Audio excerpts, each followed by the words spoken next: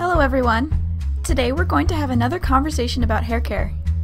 A few months ago I published a video on my hair care routine, and like I promised, as a follow-up, this is a more generalized guide to basic hair care for everyone. The information here has been compiled using results from trichology and cosmetic chemistry scientific studies, and will likely help most people. We're going to talk about four basic areas of hair care cleansing, conditioning, drying, and styling. In other words, how to clean the hair, protect it, dry it, and then get it into the shape you want. Fulfilling your hair's needs and your preferences in these four areas is the objective of a good hair care regimen. Let's start with cleansing. Many commercial shampoos have harsh surfactants that degrade the cuticle through abrasion and excessive oil extraction, and can even sever protein bonds in the hair cortex underneath. These chemicals function primarily as foamers, emulsifiers, and oil extractors. However, they are often used in excess because many people believe in the myth that shampoos with more foam and that leave the hair squeaky clean are better. While these harsh surfactants do clean the hair better, our hair doesn't need to be cleaned that well that often. Overuse of sulfates may result in damaged, brittle, and dry hair, as well as oily scalp, since your skin responds to excessive dryness by overcompensating with oil production.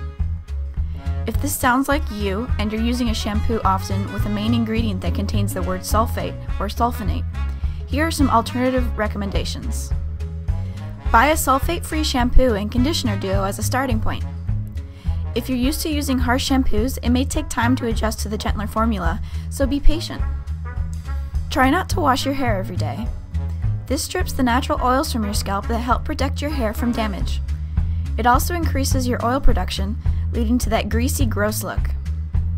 Washing every other day is a good standard, but if you can even shoot for less, that would be better.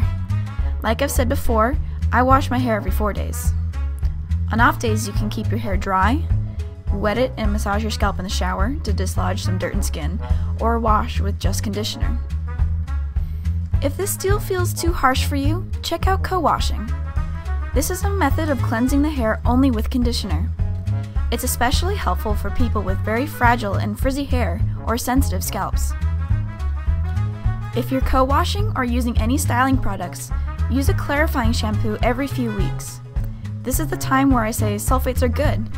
During clarifying, you want to remove any sort of buildup that has occurred, and sulfates will do that really well. The infrequent use of sulfates will be negligible amounts of damage to your hair. Now we move on to conditioning. Conditioners protect the hair by smoothing down the cuticle. This reduces the chance for damage and makes the hair shaft softer, more combable, and more manageable. It also reduces moisture loss. Conditioners can be applied in the shower, after washing while hair is wet or dry, and in a concentrated amount as a deep conditioner before washing. You may find benefit by using one kind or all three depending on your hair's susceptibility to damage and porosity. In-shower conditioners are the most common and are often formulated as part of a pair with a shampoo. If you co-wash, this conditioner will also serve as your cleansing step. Leave-in conditioners, or conditioners you add after washing, are very helpful if you plan on doing any sort of styling. Look for something light if you have thin hair that is weighed down easily, like a thin liquid or spray that doesn't have heavy silicones. Thicker hair may require heavier conditioners like creams or more viscous fluids. Finally, deep conditioners typically have the strongest effect, hence their name. If your hair still feels dry or rough, try a commercial or natural deep conditioner formula once every 1 to 2 weeks. Depending on the amount of condition you're looking for and what ingredients you use, you can put it on for a few minutes in the shower, apply all over your head a couple of hours before a wash, or apply it at night, sleep on it using a shower cap or old towel, and wash it out in the morning. Warming the deep conditioner before application increases the penetrative abilities. This is also a good chance to take care of your scalp with antibacterial ingredients, thereby helping dandruff and growth speed at the same time. Now we get to drying. One of the most common sources of hair damage is heat styling such as hot irons, straighteners, and blow dryers. Avoid these as much as possible to avoid the damage they cause. While heat styling may seem like the only way to make your hair look good right now, over time as the condition improves, you will most likely look better without the need for heat. However, there's some preliminary research that indicates complete air drying also damages the cell membrane complex between hair fibers. So here's some drying suggestions to minimize damage as much as possible from both sources. Towel or cloth drying. Soak up excess water first by wrapping your hair in a towel for a few minutes, or better yet, use a fabric with a finer weave, like a cotton t shirt or satin. The rough fabric loops on towels can cause friction damage. Air dry.